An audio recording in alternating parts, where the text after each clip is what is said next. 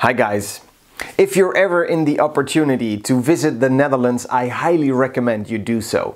Not just because of the people or the vla or the poffertjes or any other substance you might have heard so much about, but because of the nature. This week the results came in of a nationwide vote as to which piece of nature the Dutch find the best.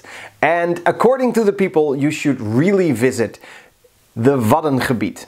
It is an intertidal zone in the north of the Netherlands and most famous for its rich flora and fauna.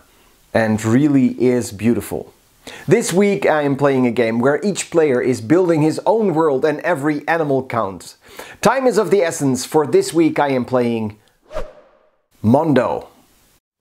In Mondo, each player creates a perfect world using tiles that are at everyone's disposal. At the beginning of each round, random scoring tiles will be drawn to set a goal for the current round, and then the timer starts. Using only one hand, players try to find the next tile they can add to their world.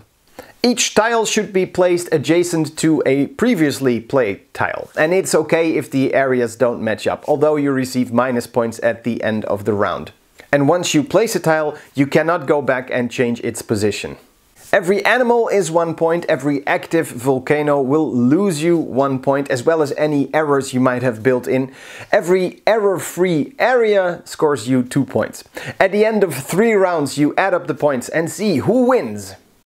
I like Mondo, but then again I have never lost a game of Mondo. It's hard to not compare it to Galaxy Trucker, which I like a bit better because it's a bit more complex. But if you're a casual gamer or uh, playing with a family, I think you should really give this one a try.